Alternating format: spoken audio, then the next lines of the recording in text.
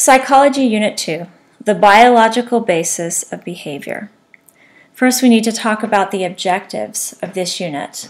So, upon completing this unit, we hope that students will be able to identify the parts of the brain, understand and identify the parts of a neuron, understand how our senses collect and interpret information, understand transduction, and understand how we perceive. Biological psychology. So biological psychology, it is the branch of psychology that is concerned with the links between biology and behavior.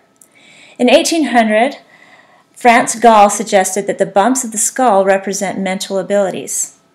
His theory, though incorrect, nevertheless proposed that different mental abilities could have a biological basis. In order to understand why we do the things we do, we need to look at the biological aspect. And at the very root of biology of behavior and thought is the neuron. And so first we will be learning about neural communication. Our nervous system plays a vital role in how we think and feel, and the neuron is the basic building block of the nervous system. It is the nerve cell. So a nerve cell or a neuron consists of many different parts. It consists of a cell body and branching fibers. So here's our cell body. The dendrite fibers receive information from sensory receptors or other neurons, and they conduct them toward the cell body. The axon fibers, here's the axon, pass that information along to other neurons or muscle glands. So here are the axon fibers or axon terminals that will pass the information on to the other neuron. So they do this by means of nerve impulses called action potential. These are brief electrical signals that travel down the axon. The messages will travel faster along axons that are covered in a fatty tissue called a myelin sheath right here. The junction between two neurons is called the synapse. So if we were going to see what a synapse is, we would have a dendrite over here from another neuron. The synapse would be where the two almost connect, but not quite. So let's go over these important parts of the neuron again. We have the dendrite, which is the bushy branching extensions of the neuron that receive messages and conduct impulses towards the cell body. So they are the receivers. The axon, these are the extension of a neuron, ending branching and terminal fibers. And through these, um, messages are sent to other neurons or other muscles or glands. So um, the axon is the messenger, the dendrite is the receiver. The myelin sheath is that fatty layer of cells that segmentally encase the fibers of the neurons. This enables the transmission of the neural impulses to go at a much quicker rate. So action potentials. An action potential is a neural impulse that travels down an axon it's generated by movements of positively charged atoms in and out of channels in the axon's membrane. So basically, a simple way to say this is when an action potential occurs, a message is sent to neighboring neurons. A synapse is the tiny gap.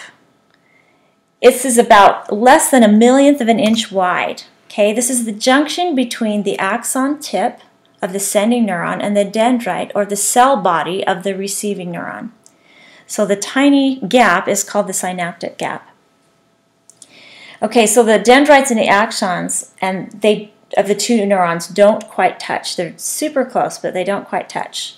And the neurons send chemical messengers called neurotransmitters across the synaptic gap. So how do neurons communicate? Each neuron is a miniature decision-making device, reacting to signals that it receives from the other neurons. Most of these signals are excitatory, kind of like pushing on a neuron's gas pedal. Others are inhibitory that are more like pushing on a, its brake. So the threshold, if the excitatory signals of the neuron are more powerful or exceed the inhibitory signals, even by a, just a minute intensity or threshold, the combined signals trigger an action potential. So it's kind of like, so the threshold is the level of stimulation that's required, that minimal amount to trigger a neural impulse. It's kind of like the excitatory party animals at a party that want to party all night. They outvote, even if it's by one, that's the threshold, they outvote the inhibitory party poopers, and so the party will continue. So a neuron fires, sending impulses down its axon, carrying information to another cell. So let's talk about all or none response. A neuron's reaction of either, of either firing with its full strength response or not firing at all. That's what this is. So a neuron firing doesn't vary in intensity. The neuron's reaction is an all or nothing response. Like a gun, neurons either fire or they don't. So neurotransmitters, these are the chemicals that are released from the sending neuron that travel across the synaptic gap and they bind to the receptor sites on the receiving neurons. So they are the chemicals that communicate information throughout our body. And they transmit signals across the synapse from one neuron to another neuron. So how do neurotransmitters help us? Serotonin, for example, is uh, its pathways are involved with mood regulation. So serotonin is involved with sleep and mood. So people, when they are depressed, they may not be getting enough serotonin.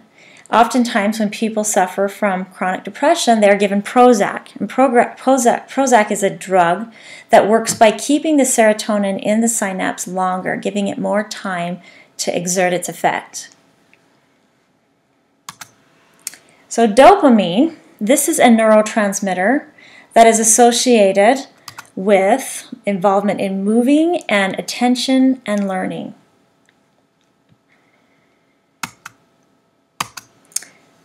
So a lack or a loss of dopamine can produce um, of producing neurons. It causes Parkinson's disease. It can cause Parkinson's disease, and so um, the symptoms. Some of the symptoms are difficult difficulty starting and stopping voluntary movements, tremors when the body's resting, a stooped posture, very rigid body, poor balance.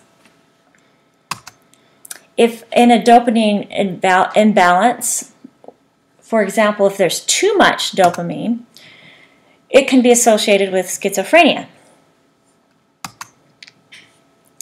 Okay, so we have acetylcholine. Acetylcholine is a neurotransmitter that is found in all motor neurons. It is actually the first neurotransmitter that was discovered.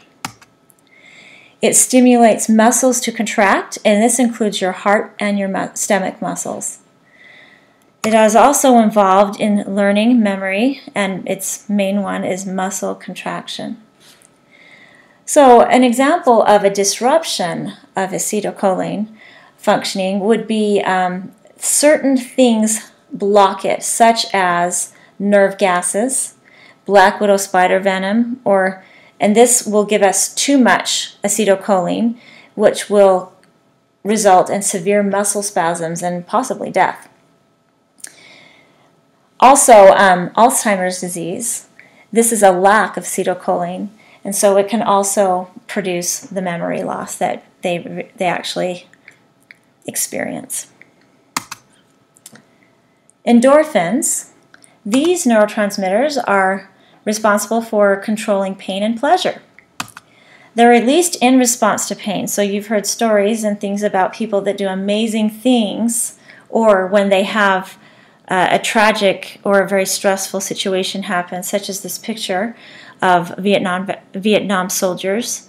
Oftentimes they will be shot, and in the heat of the moment and in the stressful event, they have so many endorphins that that are released that they don't feel the pain until after the stressful event or the excitement is over. When we are um, involved in rigorous exercise, we have a heavy release of endorphins. And that's been associated with what we call the runner's high, and that's a feeling of euphoria or a very good feeling that people get uh, many times when they are involved with, with rigorous exercise. And people can actually become um, endorphin junkies where they are kind of addicted to that feeling of the endorphin release. Norepinephrine is a neurotransmitter that is, is associated with our flight or fight impulse. So this one is also associated with physical arousal, learning, and memory. So the physical arousal can be arousal in anger or things like this, or it can also be sexual arousal.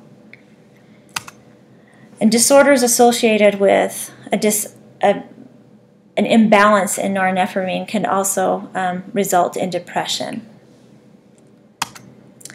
So in summary, let's talk about some of the things that we hopefully have gotten from this little lesson.